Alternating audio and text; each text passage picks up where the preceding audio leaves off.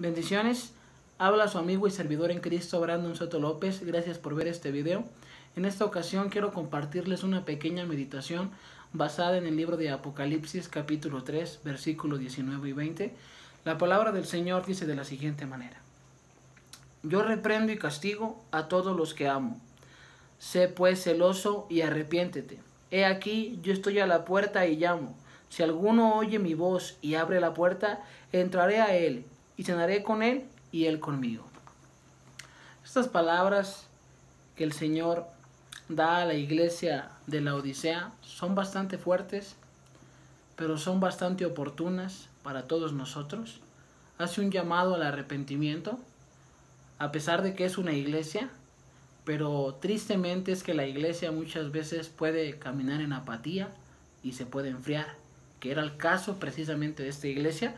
El Señor en el versículo 15 de ese mismo capítulo les dice, yo conozco tus obras, que ni eres frío ni caliente, ojalá fueses frío o caliente, pero, pero por cuanto eres tibio y no frío ni caliente, te vomitaré de mi boca. La condición de la iglesia es que era una iglesia tibia, una iglesia que no era entregada, de esas iglesias donde sus miembros tienen un pie en el mundo y un pie en la iglesia. De hecho, también se jactaban de ser ricos, de tener posesiones, pero el Señor les dice que realmente son pobres. El diagnóstico que Dios tiene de nosotros en veces suele ser crudo, pero es alentador porque realmente es la realidad de las cosas y si hacemos caso a la voz del Señor, nuestro fin será otro. De hecho, el Señor exhorta a la iglesia también a que compren un oro que realmente no es perecedero, o sea, el oro que se consigue con una vida de disciplina en el Señor, una vida de obediencia, una vida que da fruto. Por tanto, el Señor en el versículo 19, que es el versículo que hemos seleccionado, yo reprendo y castigo a todos los que amo. Nosotros tenemos que sentirnos amados, no solamente en la providencia de Dios, en todo lo que Él nos da y lo que nos brinda, sino también en sus exhortaciones, porque realmente eso es lo que nos ayuda a nosotros, sus hijos, realmente a, a caminar de una manera que a Él le agrada. Porque de hecho Dios da provisión, alimento a justos y a injustos, hace que salga el sol para justos e injustos, pero aquí la diferencia radica en sus hijos. Tiene un trato especial con ellos y los disciplina a tal punto que puedan tener el reflejo de su Hijo Jesucristo. El Señor, por tanto, nos exhorta a todos nosotros a que practiquemos el arrepentimiento, no solamente como en un evento pasado, sino continuamente para que nuestras vidas den fruto realmente, porque podemos caer a la apatía, podemos caer en, el descrédito, en, la, en el desánimo ante las personas y realmente ahí hemos perdido el rumbo.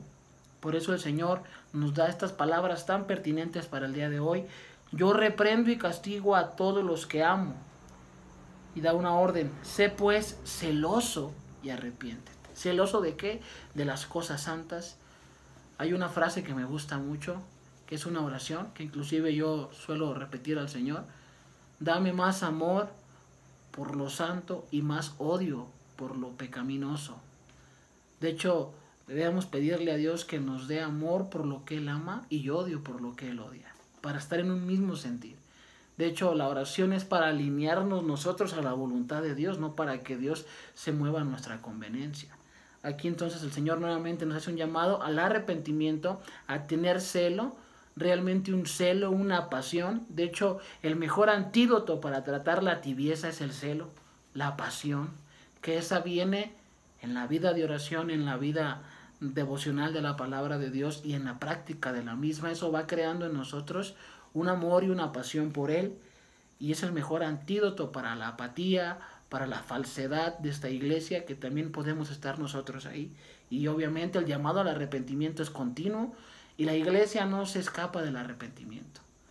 Hemos escuchado muchas veces que la persona suele decir que se convirtió o que se arrepintió en tal época de su vida, pero no hermano, el arrepentimiento es un continuo arrepentimiento en la vida del creyente, es un continuo hecho de todos los días en la vida del creyente. Eso debe a nosotros distinguirnos, que nos duela pecar, que nos duela ofender al Señor, así como dice su palabra, que nos convirtamos de todo corazón y que rasguemos el corazón no solamente las vestiduras. Y culmina el versículo 20, he aquí yo estoy a la puerta y llamo. Si alguno oye mi voz y abre la puerta, entraré a él, cenaré con él y él conmigo. Aquí escuchar la voz simplemente significa obedecer, porque también dice la carta de los hebreos, si oyeres hoy mi voz, mi voz, no endurezcáis mi corazón. El Señor, claro que escuchamos su voz, su palabra es la voz escrita de Dios. El punto es que no la obedecemos. La estamos escuchando, estamos escuchando su exhortación, pero el problema radica en que no la ponemos por práctica. Y allí es donde realmente no, no tenemos esa pasión por el Señor. Y sale a relucir que realmente nuestro corazón todavía es duro para obedecer. Y esta exhortación tomémosla, hermanos, y pidamos en oración que Dios realmente ponga en nosotros nuevamente un continuo arrepentimiento, un celo por Él, para erradicar la tibieza, la apatía que muchas veces nos puede llegar en un momento dado de nuestro cristianismo. Dios nos ayude y muchísimas gracias por escuchar este video. Bendiciones, habló tu amigo y servidor en Cristo, Gran Soto López.